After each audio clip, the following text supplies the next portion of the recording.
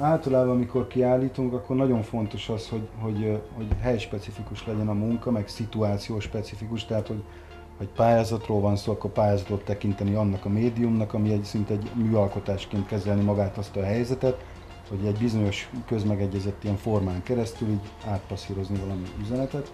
És ugyanígy vagyunk így a kiállításokkal. Nagyon hát fontos. adaptálni a saját dolgainkat a helyzetekre. Igen. igen, tehát így valamiféle ilyen aranymetszés jelleggel, hogy amit beletesz az ember, annak köze legyen ahhoz, amivel beletette. Az, hogy mi együttműködünk, az tényleg onnan jött, hogy igazából én csináltam a képeket, amíg te elmentél dolgozni, hogy fenntartsd a családot, ja, és mindeközben volt, hogy a munkáimnak ő adott címet, aztán pedig elkezdtünk tényleg közösen gondolkodni, hogy ennek milyennek kéne lenni, mindig mentem oda hozzá, hogy na, szerinted itt... Meg megfestett egy képemet, amit én régen csináltam. Igen. És akkor igazából azt adtuk le egy pályázatra, és akkor úgy gondoltuk, hogy ez se nem ő csinálta, se nem én, hanem ez közös, és így, így kell ennek egy nevet, nevet ja. a pályázat, így, így alakult ki a, a, a, a közös nevünk. Ennyi. Ez a társadalomkritikus vonal, ez, ez nagyon-nagyon erősen meghatározott minket az első jó pár évben. Az első önálló kiállításunk címe is Mozdíthatatlan ország volt, ami abszolút a magyar közhangulattal foglalkozott, illetve egy ilyen alternatív országimást építettünk, úgymond egy, egy önálló kiállítás keretein belül. És igazából azt úgy tudnám megfogalmazni, hogy így azt a kritikát, amivel így illettük így a, a, a nacionalizmust és társait, azt így kicsikét így magunk ellen fordítottuk. Volt terápia, meg halmozott együttműködés, önkritikus portré. Néhány éven keresztül. Ahogy maga néz, látja őt? Hát igen, így periférikusan látom, igen. De hát látom, hogy nem engem néz meg, hogy egyáltalán így teljesen úgy fekszik, hogy tényleg ne is legyen semmi. Kontaktja hozzám, szóval.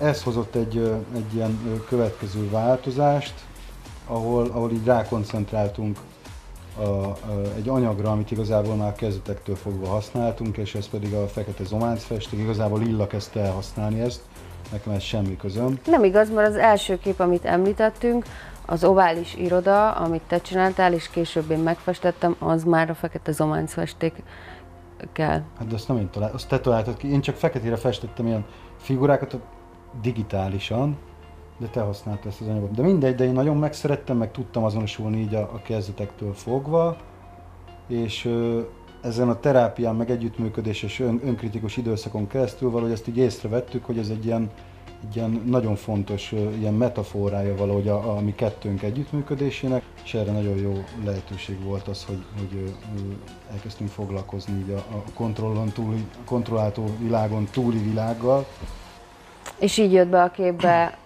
Jobb története, ami egy egészen különleges történet szerintem így a Bibliában.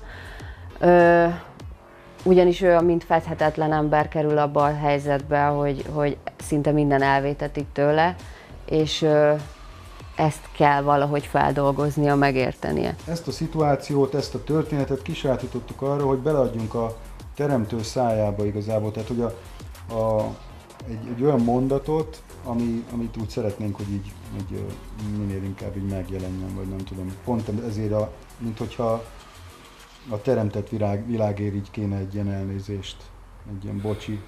De először kisajátítottuk ezt a fekete anyagot, kisajátítottuk ezt a forgószeret, és ezt a for- fekete anyagot igazából beletöltöttük ebbe a, a ventilátorba, ami középen forog, ez fröcsköl, ez, ezt nem lehet kontrollálni, hogy ez hogyan fröcsköl, ez De alakítja ki a, ezt a szöveget. Ugyanakkor mégis belekényszerítettük egy mondatba, amit a szájába adtunk, úgymond.